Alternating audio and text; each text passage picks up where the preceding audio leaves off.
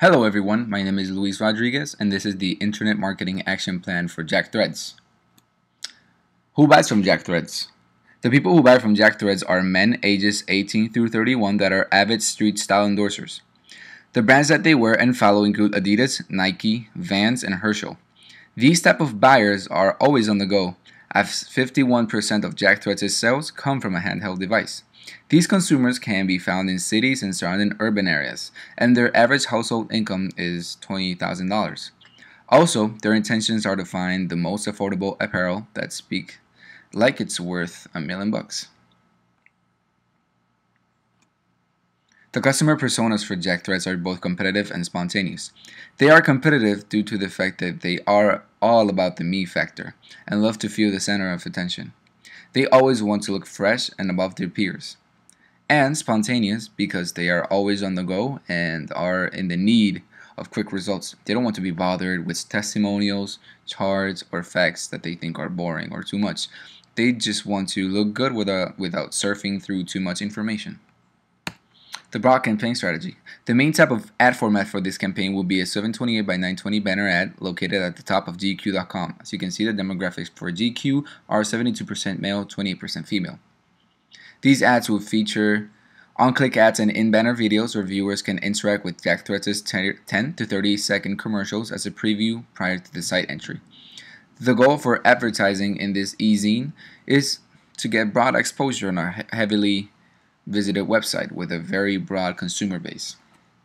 Comparing the best versus the worst case scenarios for the broad market campaign at a 1% conversion rate and the average, average transaction value of 100 with 938 total visitors, our revenue will consist of $937 with 50 cents, with the revenue per visitor being $1.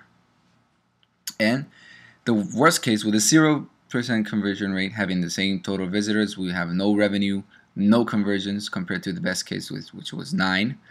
Our revenue per visitor is 0, and our margin per visitor is at, the, at a negative 0.21 cents. The targeted campaign. The ad format for this campaign will be a 300 by 250 box. It will feature an expandable 30 second interchangeable animation of Jack JackThreads' models were in the current collection. While GQ is also going to be used for the targeted ads, this type of ad will not be featured on the homepage for every visitor to see, but within a specific segment of the website. Going along with the lines with JackThreads' demographic guidelines, targeted ads will be featured within the style segment in the articles with the titles The Three Things that every college grad has in his closet, and what to wear on dates 1 through 5, etc.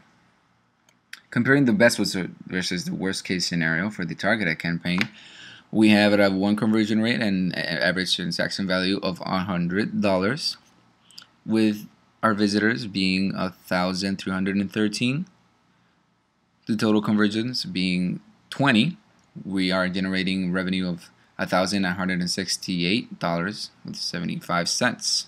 Our ad spend revenue ratio would be about 27.94 percent and in the worst case with no conversion rates, we will have the same amount of visitors, but no revenue, no conversions, zero revenue per visitor, and a margin per visitor would be about negative 0.42 cents. The intention-based campaign. The keywords that surround the conversion strategy are mostly tied with the words discount, coupons, and sneakers. Due to the fact that JackThreads' customers are mostly men looking for high affordable fashion, since the majority of men in the market are not high spenders on regular price apparel, reiterating the fact that men are always on the look for the trendiest brands at the cheapest cost. JackThreads will use these keywords for their ad placements in order to convert and satisfy the need for the online discount fashion purchasing.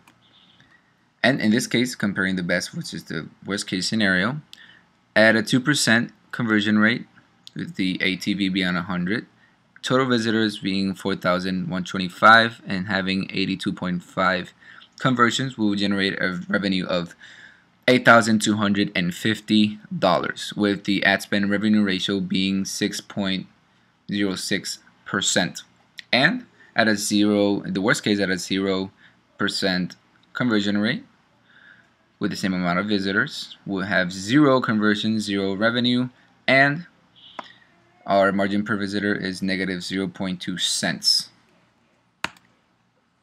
The email newsletter campaign. This advertisement will feature the Jack Threads logo type along with the flash GIF that will look three times, showcasing Jack winter styles for the upcoming season.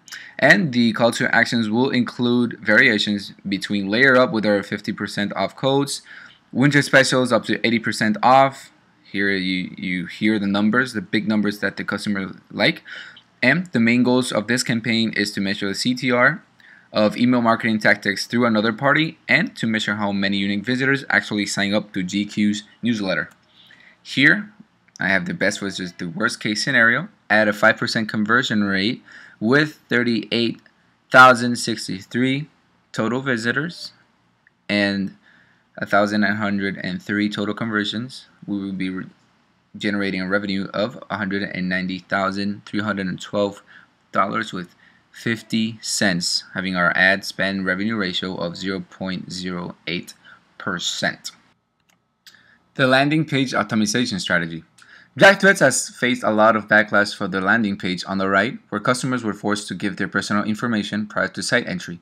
My suggestion is to present an X out button with no sign up obligation like the image on the left, so consumers can feel secure and confident before making a commitment to the brand itself. Here, we will measure the click-through rates.